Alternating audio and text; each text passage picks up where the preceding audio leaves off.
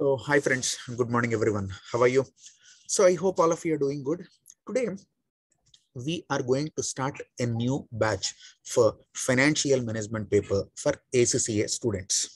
Okay, so as you know, this uh, financial management is a 100 marks paper and which is vital to you know for any uh, student who is grooming himself to be a chartered accountant or uh, uh, a certified professional accountant or even management accountant.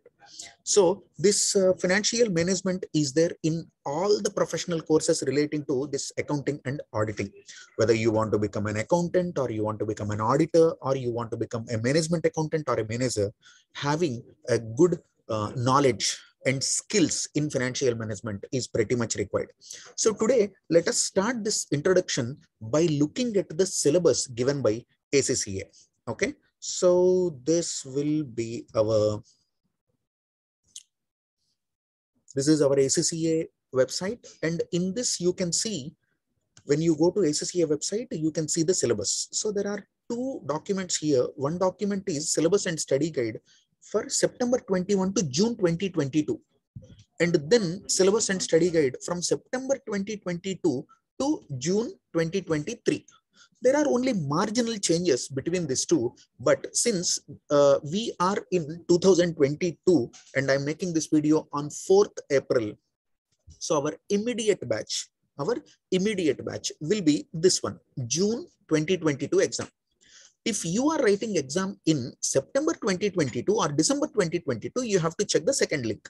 So now I am starting with the first link. So I have opened this. Okay. And this is the document. Okay. FM for September 21 to June 2022 students. So let us have a good idea on this uh, syllabus. And after that, we will see uh, with our uh, investment appraisals. So they have given all these things here, intellectual levels, learning hours, education and rec education recognition, the structure of ACCA qualification, all these things you might have seen when you are doing your, your uh, F123 itself. Okay, since already you reached F7, 8, 9 level, I'm sure you have good understanding about what is ACCA qualification, uh, ACCA examination structure, how the papers will be assessed and all these things then we have to go to introduction of syllabus 9 detailed study guide. Okay so let us see i'm not uh, dealing with all these things because i'm sure you have uh, already known this levels and all applied knowledge applied skills strategic professional levels etc etc etc so this is about assessment how they assess. This is about linkage. So they are saying that uh, the financial management will be useful for your strategic business leader and advanced financial management. So previously last year, you remember you have done management accounting.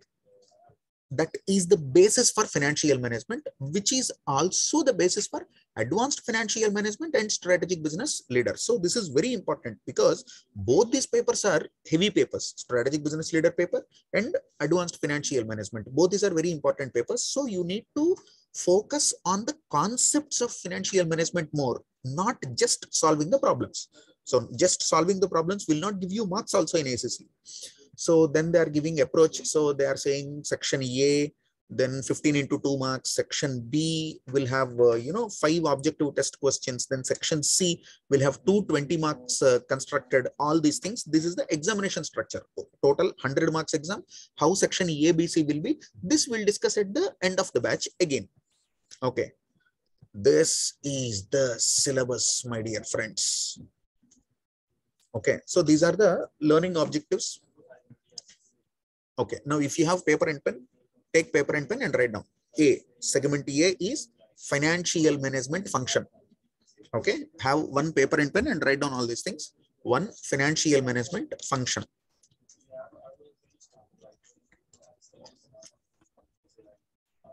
B, financial management environment.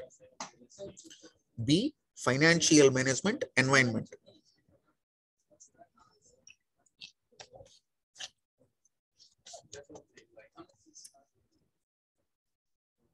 C, working capital management.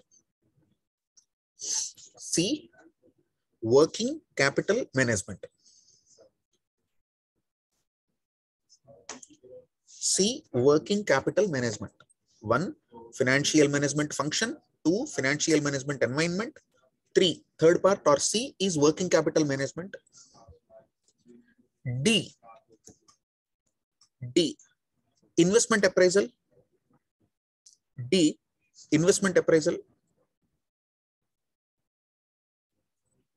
E, E, business finance. E, business finance. F, business valuations. F, business valuations.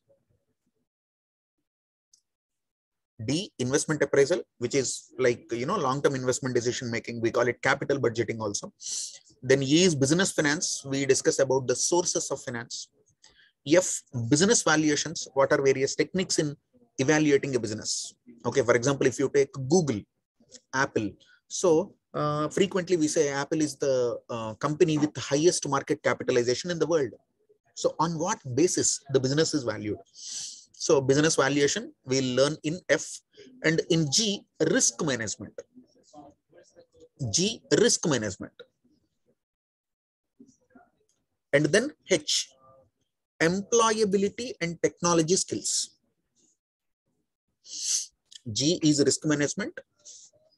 Then H is employability and technology skills. Okay, so guys, try to understand A, B, and H are predominantly theory. Okay, A, B, and also to big extent, business finance E, risk management G, though there are some problems, business finance and risk management also, a lot of theory. Whereas working capital management, investment appraisal, business valuations, this three is core problems, practical aspects. But I'll tell you one very, very, very, very important observation what a student has to understand. There is a lot of difference between your board examinations, especially you are a student from India, Pakistan, Bangladesh, or student from uh, Nigeria, student from Uganda. If, if you are not a student from uh, the EU, the UK, and if you are not a student from uh, US, what happens is in your schooling, in your college, you might have done a lot of exams wherein the focus is on solving question. Focus is on solving question. But the moment you come to UK or EU, European Union we call, especially ACCA is a UK qualification, right? So the moment you come here, what happens, you know, the focus will be more on the analysis, interpretation, conclusions, what kind of inferences you draw, and your assessment and your skill and ability of applying a principle in a given situation. Here, no one wants your theory. No one wants, uh, you know, just if you solve the problem and say, say, for example, ARR, ARR of this project, annual rate of return, accounting rate of return, or average rate of return. ARR has, uh, you know, ARR is known as accounting rate of return or annual rate of return, or you can call average rate of return also. So the accounting rate of return, 22%, you calculated. Do you know only 40% of marks, maximum 40% of marks are given for your answer when you solve you know, applying uh, some formulae, you'll calculate the answer, no, 22.5%. For that, only 40% marks are given. That means you'll fail. 50% is the pass. Many students fail not because they don't know how to solve. So calculation of NPV, calculation of working capital, calculation of business value, actually that is very simple. Actually, that is very simple. But still students fail. Do you know why? If you look at the assessment, more and more and more and more weights weights are given for your interpretation and how you correlate theory with real life practice and to the situation. So it is like you know decision you are a consultant. You're not just a student who's solving this problem. So ACCA, they do not want to see you just as a student. They want you to be a resource or a consultant who is giving a suggestion to a client. So to the client, say for example, there is project A, project B, there is business A, business B. ACCA wants you after valuing business A and business B, what kind of suggestion you will give to uh, your client. And also there are certain very peculiar things for an Indian student or a Pakistani student. There are very peculiar things that you have to speak a lot about the environment, about the social responsibility, about the desirability of this particular project from non-financial points of view, sustainability, ecology, okay, environment, ecosystems. Isn't it interesting? It is actually interesting. So guys, you need to read technical papers given by ACCA. You need to read case studies, not just solving the problem, solving the problem, solving the problem. Unfortunately, if your lecturer is also from a background where he wrote so many exams, which are, you know, problem solving based, even they will drive the batch they will drive your teaching in such a way that calculate NPV, calculate IRR, calculate working capital. But that is not the end that is not enough. You need to be little more, little higher. So it is very important to attend the classes and learn the concepts. And it is equally important for you to download the previous question papers and suggested answers and try to understand how ACCA is giving suggested answers and how to develop that answers. You need to develop the skill you understand? So this is our syllabus. What is our syllabus? Our syllabus comprises financial management function, financial management environment, working capital, investment appraisal, business finance, risk management, business valuations, and employability and technology skills. So this is a 20 marks PDF, 20 page PDF. I'm sorry, not marks, 20 page PDF. You need to read this thoroughly you need to read this thoroughly. So from this page number 11, they have given the details of the syllabus. So just now we have seen part A, B, C, D, E, something like that. Now in A, what will come here? The nature and purpose of financial management, financial objectives and relationship with corporate strategy, which is very important. See, do you understand this? If you are doing an Indian course, trust me, you'll never see this kind of language or this content or this uh, phrase in your whole life you cannot come across in financial management. Maybe strategic management is a separate paper, but the interlinking how financial objectives will help you in achieving corporate strategies. This is an interesting dimension. This is a different dimension if you are an Indian student. Then who are the stakeholders and impact on corporate objectives, financial and other objectives for not for profit organizations not for profit organization. Okay, for example, you are running a railroad system.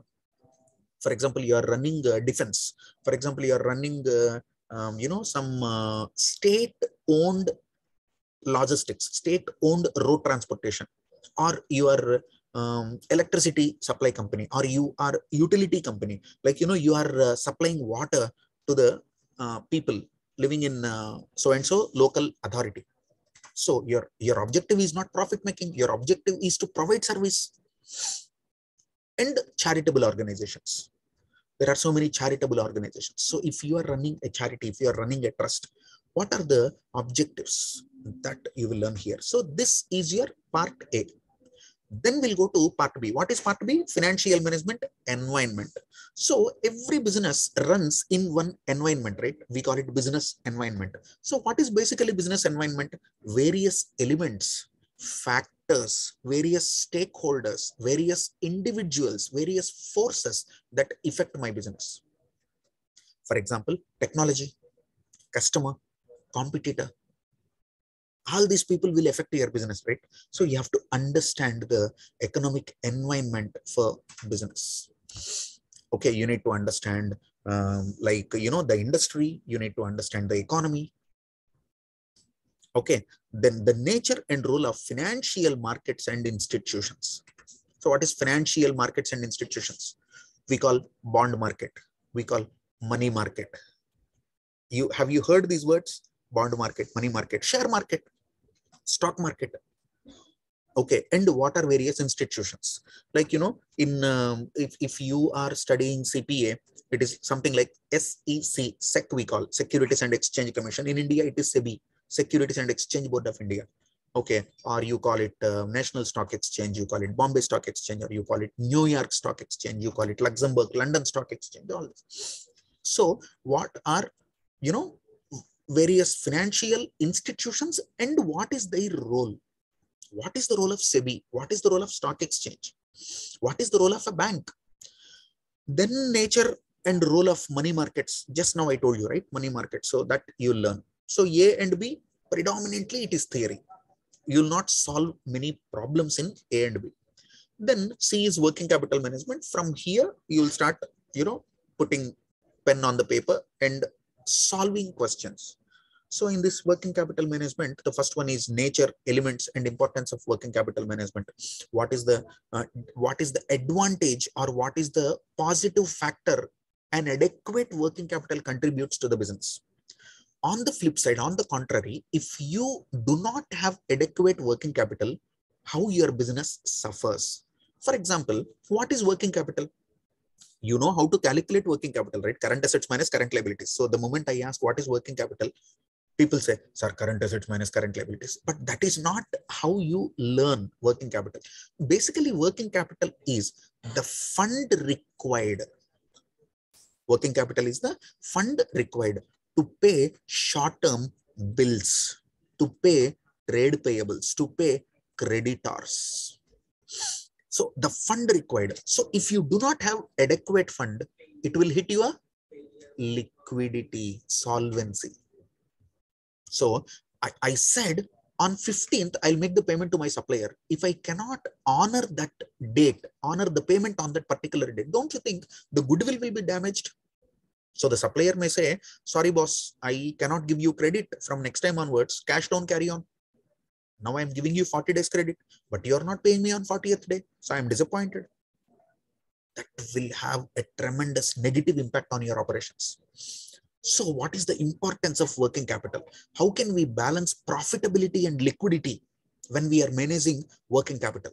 So basically, guys, try to understand investment is of two types. Okay. Investment is of two types. Investment in long-term assets, investment in short-term assets. Investment in long-term assets takes you to capital budgeting and investment appraisal. Investment in short-term assets will take you to working capital. Investment in short-term assets is nothing but investment in operations of the entity that we'll see here. And then inventory management, accounts receivable, accounts payable, cash, all these are elements, various elements. So working capital comprises current assets, current liabilities. So what are various current assets? Inventory, accounts receivable, cash. Okay, we call it DSC. DSC means debtors, stock, cash. And in current liabilities, the major component is trade payable, accounts payable. So that is what you are learning. And then determining working capital needs. And this is the beauty funding strategies in your board exams or in your university exams you will solve in a table statement showing calculation of working capital A, current assets, B, current liabilities, A minus B is equal to net working capital. The excess of current assets over current liabilities, 200,000 pounds, 12 out of 12. 12 out of 12. Here, you do the same for a 12 marks question. You will get 4 marks or 5 marks maximum. Why? Because that 200,000 pounds, how you need to mobilize into the business. Are you going to take an overdraft? Are you going to use packing credit, cash credit? Are you going to, you know, have any short-term bonds? How you, you know, in, in what way you want to mobilize that money? What is your strategy? This you need to tell them. That is C. And then comes D. D is investment appraisal investment appraisal. So this is typical capital budgeting where we see uh, we uh, apply various uh, techniques like uh, calculation of net present value, ARR, IRR, payback period, and all these things. Then in the next level, you'll take it to the inflation, tax benefits, risk and uncertainty, all these things, advanced level. Actually, not advanced level for you, maybe second level. So investment appraisal techniques, then inflation and taxation in DCF. What is DCF? Discounted cash flow technique. DCF stands for discounted cash flow technique. Then adjusting risk and uncertainty that is going to be the next point adjusting risk and uncertainty then for specific investment decisions this is also very important so should i see i need a truck to carry goods i need a truck should i take the truck on lease or should i buy the truck should i take the take the truck on lease or should i buy the truck it is called lease or buy decision similarly asset replacement decision i have old computer there is a new computer in the market. I have old machine. There is a new machine in the market. I have old plant. There is a new plant in the market. I have old equipment already installed in my company factory. Now there is a new equipment. Should I replace it? If I use old machine, existing machine, how my cash flows will be. If I replace it, how my cash flow will be. So is it wise to replace the machine or is it otherwise? wise or otherwise. Is it profitable or is it a loss making? And then capital rationing. Capital rationing is a situation where you do not have adequate cash. So uh, MD comes to you and says, say, for example, if Pavan is CFO of a company, my MD comes to me and said, hey, Pavan, uh, you told me na we need 500,000 pounds, but bro, we have only two and a half thousand, uh, 250,000 pounds. What can be done? you should know how to do it if you don't know look at your mom every time whenever mom is running the house in the monthly expenses always or maybe majority of the times if you um, are not really affluent like ambanis or adanis so majority of times what happens our inflows will be less than our outflows or our revenue will be less than our expenses how to do that budgeting how to do that rationing so which one is your priority?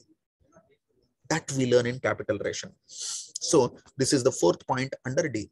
Then comes this business finance.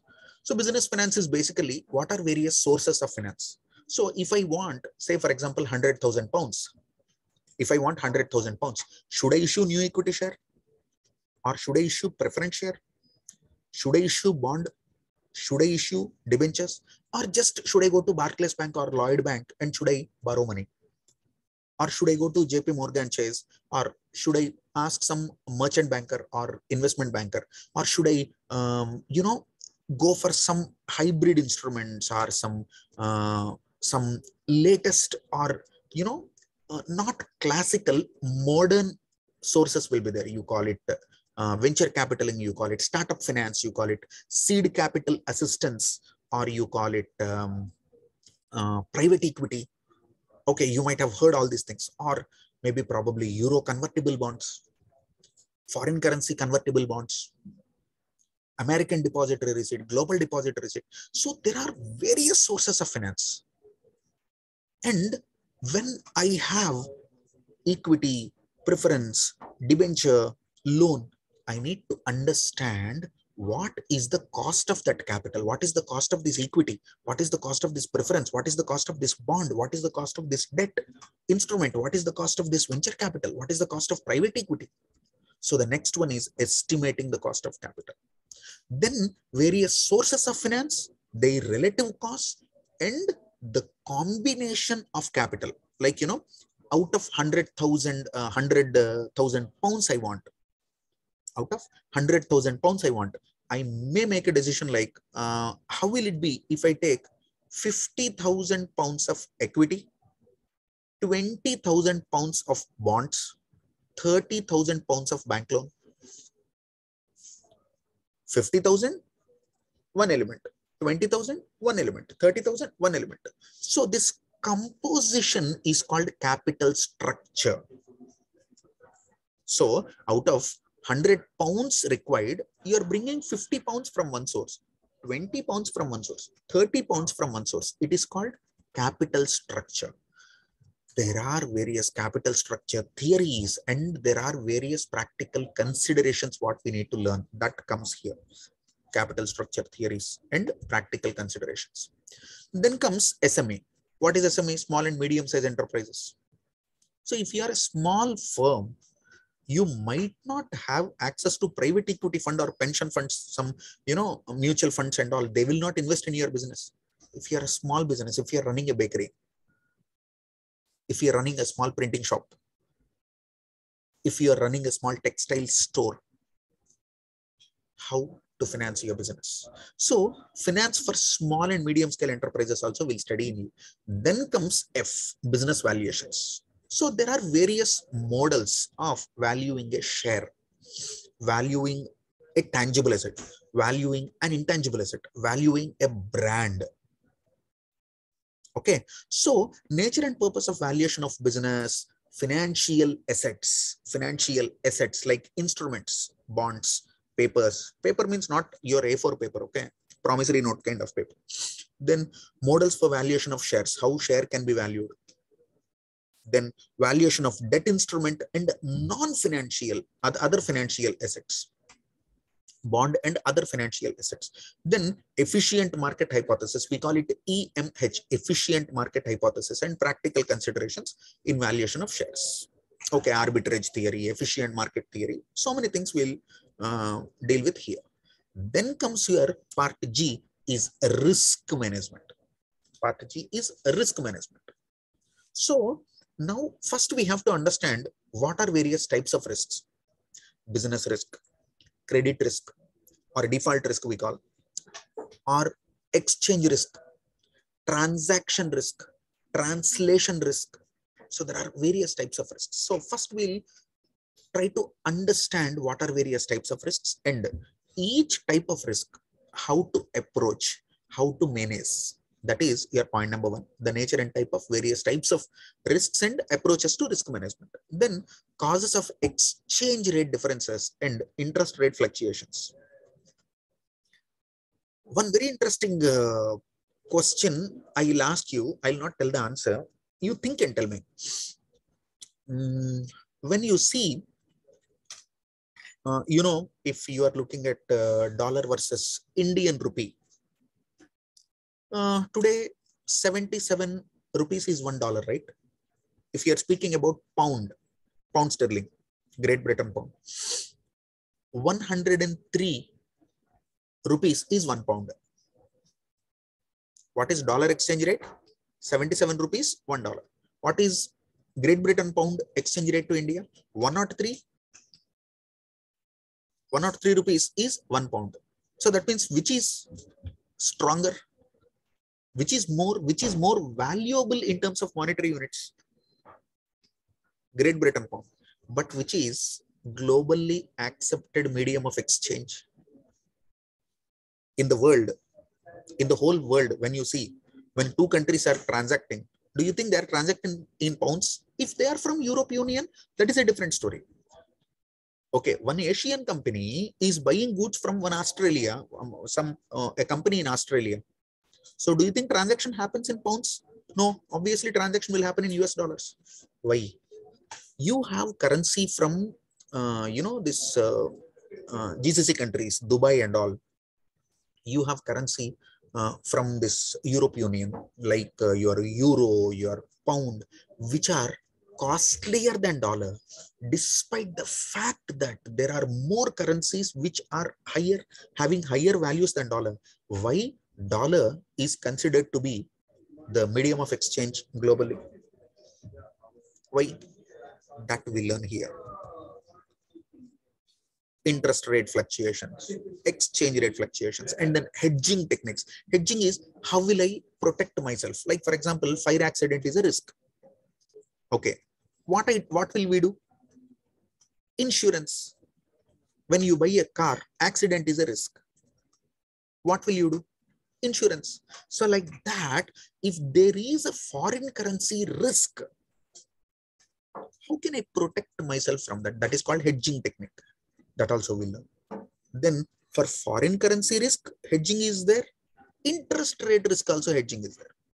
So we learn all these things in part G, risk management. Okay. Then H. H is basically using the latest technology. Like for example, you are an accountant. So you completed ACCA, you went for accounts job. Okay. So you have a basic understanding of IFRS, even not at expert level, but you will have a decent idea about IFRS and all, right? But do you know when you enter the markets, you'll be surprised to see some accounting packages and ERPs there. All of a sudden, something will come, Sage 50. What? You'll put to your face like Sage 50. I don't know. Finacle. I don't know. Some ERP, some SAP. I don't know. My dear friend, today, smallest of the ice cream vendor roadside is also using computers for billing, is also using computers for accounting, etc. So basically, you need to acquaint yourself both theoretically and practically to use computers extensively in financial management. So it is basically computers. Use computer technology to effic efficiently access and manipulate relevant information. Like Excel is one beautiful example for data manipulation, for data management, sorting, putting it in a proper shape, management information systems. For everything, Excel is a very good tool. Then work on relevant response options using available functions and technology as would be required in the workplace. So see how practical this is. Practically in workplace, what is required? That you're going to learn. So my dear friends, this is the syllabus. Okay, and they have given two more points. Navigate windows and computer screens to create and amend responses to exam requirements using the appropriate tools. This is basic thing. Okay, I'm sure many of you, you know, might uh, have already gone through all these things, especially if you are a CPA student, TBS will be there, right? Test-based simulations. I teach CPA, I teach ACC, I teach Indian courses. So this test-based uh, simulations and all, you need to navigate through windows and then you need to capture the data and even in strategic business leadership also a lot of annexers and you know this uh, uh, schedules will be given. You need to read through and then you need to take the data. You need to do cut copy kind of things. So many things. That is three.